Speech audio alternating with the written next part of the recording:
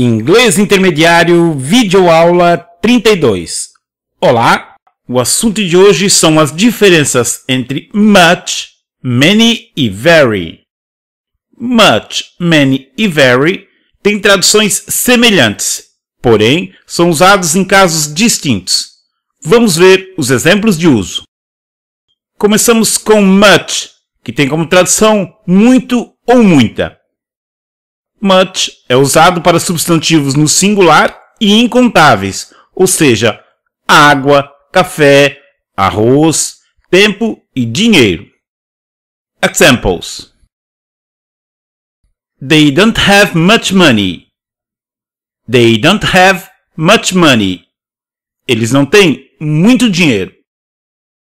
Então aqui eu tenho um substantivo incontável que é dinheiro Aí você pode me perguntar, mas dinheiro não é contável? Não o dinheiro generalizado. Aqui eu não estou uh, especificando a moeda, não estou falando do dólar, não estou falando do euro, não estou falando do real. Estou falando de dinheiro. Então, um substantivo incontável, substantivo generalizado. E ao mesmo tempo no singular. Então, nesse caso, eu uso much. They don't have much money. Eles não têm muito dinheiro. Mais um exemplo. He doesn't drink much coffee. He doesn't drink much coffee. Ele não bebe muito café. Novamente aqui um substantivo incontável, café. Veja que eu estou me referindo ao café de um modo generalizado. Eu não estou falando uma xícara de café, um quilo de café. Estou simplesmente falando café. Ao mesmo tempo que eu falo de muito café, ou seja, eu estou falando de singular, de muito café. Não estou falando de muitos cafés. Então, nesse caso, eu uso much. He doesn't drink much coffee. Ele não bebe muito café. Mais um exemplo. I don't have much time. I don't have much time. Eu não tenho muito tempo. Aqui novamente um substantivo incontável, já que eu estou falando time, estou falando de tempo de um modo generalizado. Não estou me referindo à quantidade de tempo, não estou falando uma hora, duas horas ou um dia, meio-dia, ao mesmo tempo que eu estou falando de muito no singular. Então, nesse caso, eu também uso much. I don't have much time. Eu não tenho muito tempo. Além desses exemplos que eu já citei, existem também as expressões que usam a palavra much, como por exemplo, how much, que é traduzido como quanto ou quanta, too much, que é traduzido como demais, e so much, que é traduzido como muito, tanto, isso de uma forma exagerada. Vamos aos exemplos. Examples. Aqui então um exemplo com how much. How much money can I expect to receive? How much money can I expect to receive? Quanto dinheiro eu posso esperar receber? Então aqui how much traduzido como quanto. Agora um exemplo com too much. Too much money was spent in the past. Too much money was spent in the past. Muito dinheiro foi gasto no passado. Aqui então, too much, traduzido como muito, muito dinheiro. Agora um exemplo com so much. Lembrando que so much aqui é traduzido como muito, mas muito exagerado. Thank you so much for your help.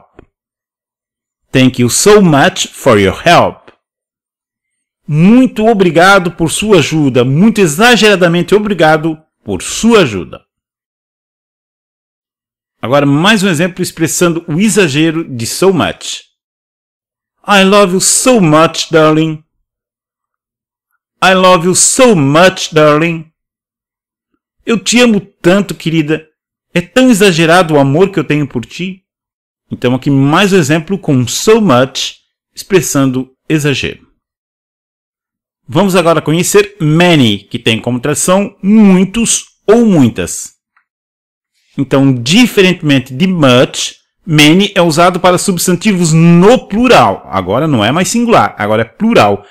Ao mesmo tempo que é usado para substantivos contáveis, enquanto much você usava para incontáveis, Many você usa para contáveis, ou seja, para qualificar a quantidade ou quantificar algum substantivo. Vamos aos exemplos. Examples. I have visited many regions. I have visited many regions. Eu visitei muitas regiões. Então aqui eu tenho um substantivo contável, eu tenho regions, que eu posso contar as regiões de cada país. Eu posso então falar da região sul, da região norte, da região leste de cada país.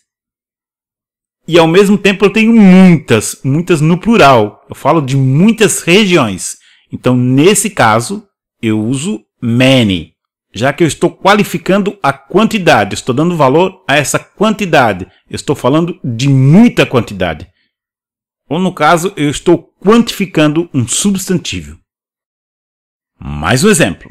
I have met many frustrated people. I have met many frustrated people. Eu conheci muitas pessoas frustradas. Então aqui eu tenho um substantivo contável, eu tenho pessoas, eu posso contar o número de pessoas. E eu tenho muitas no plural, ou seja, muitas pessoas. Então nesse caso eu uso many.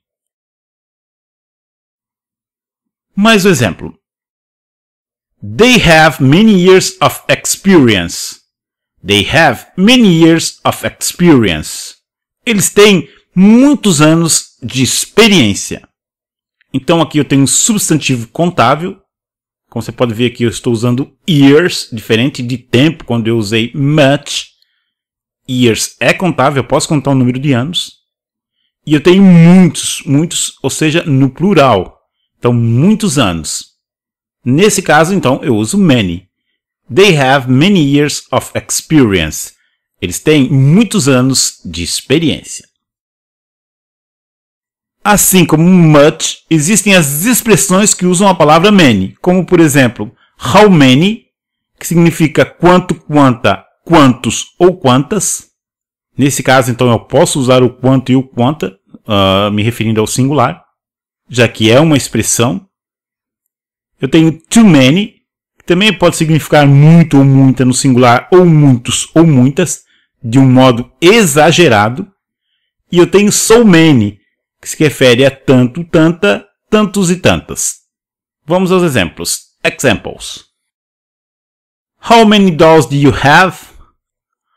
How many dolls do you have? Quantas bonecas você tem? Aqui nesse exemplo, eu tenho dolls, que é contável, eu posso contar o número de bonecas, e eu estou usando o plural, aqui eu estou usando a forma do plural de how many. Quantas bonecas você tem? How many dolls do you have? Mais um exemplo. With so many people in the room, I can find the exit. With so many people in the room, I can find the exit com tanta gente na sala, eu não posso encontrar a saída, ou com tanta gente na sala, eu não consigo encontrar a saída. Aqui nesse exemplo, eu traduzi uh, so many people como tanta gente. Então, nesse caso, eu uso tanta ali, uma palavra no singular. E eu uso gente. Gente é contável, gente é pessoas. Mas eu poderia ter traduzido também o so many people como tantas pessoas. Aí, no caso, eu teria tantas, uma palavra no plural, e pessoas, que também é contável, já que gente e pessoas é a mesma coisa. Então eu posso ter ali, com tanta gente na sala, eu não posso encontrar a saída, como eu poderia ter também, com tantas pessoas na sala, eu não posso encontrar a saída. Só para exemplificar e você não se perder. Então, people é contável e so many pode ser aqui nesse caso, nessa expressão, veja bem que é uma expressão, eu posso usar o tanta no singular. Se liga na dica agora. Para quem teve dúvida na palavra time apresentada no exemplo much lá, eu vou explicar um pouco melhor aqui para você. Então, time, eu falei que é incontável e que eu uso much. Então eu tenho I don't have much time. Eu não tenho muito tempo. Porém, se em vez de time eu tiver times, que é muito parecido, a tradução será outra. A tradução será vezes. Então eu terei um substantivo contável. E nesse caso eu uso many. Como nesse exemplo. How many times have you tried? How many times have you tried? Quantas vezes você tentou?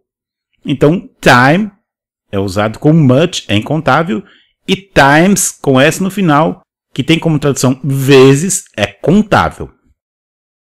outra dica. Ainda temos a lot of, que é mais informal, e lots of, que é mais formal, que pode ser usado para contáveis e incontáveis, sempre com o mesmo significado de much e many. Então, se eu não quiser usar much e many, eu posso usar a lot of ou lots of. Vamos aos exemplos. Aqui um exemplo então com o incontável, com much. Much more time is needed. Much more time is needed. Então aqui eu tenho time, que é um substantivo incontável, e eu tenho much, que é traduzido como muito, no singular. Porém, eu posso usar a lot of com o mesmo sentido, com a mesma tradução de much, muito, no singular, e usar time, que é um substantivo incontável, como nesse exemplo. They spend a lot of time together. They spend a lot of time together. Eles desperdiçam muito tempo juntos, ou no caso, eles desperdiçam muito tempo quando estão juntos. Então aqui eu tenho a lot of no lugar de much. Agora um exemplo com um substantivo contável. She has many friends. She has many friends. Ela tem muitos amigos. Então aqui eu tenho many, traduzido como muitos, e eu tenho o substantivo contável friends, amigos. Porém, eu posso usar lots of no lugar de many e ainda assim usar o substantivo contável friends. I have lots of friends in Russia. Eu tenho muitos amigos na Rússia. Então aqui eu usei lots of no lugar de many e continuei usando friends. Vamos agora conhecer very, que tem como tradução muito. Very é geralmente usado para qualificar adjetivos, ou seja, para qualificar aquilo que já dá qualidade a alguma coisa. Vamos aos exemplos. Examples. She is a very beautiful woman. She is a very beautiful woman. Ela é uma mulher muito linda. Então aqui eu tenho very qualificando o adjetivo beautiful, que está qualificando o substantivo woman. Então estou qualificando aquilo que já é uma qualidade. Poderia ter ali simplesmente she's a beautiful woman. Eu coloco very e eu qualifico.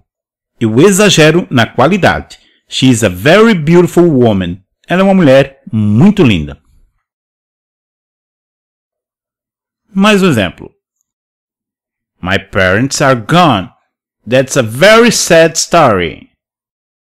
My parents are gone. That's a very sad story.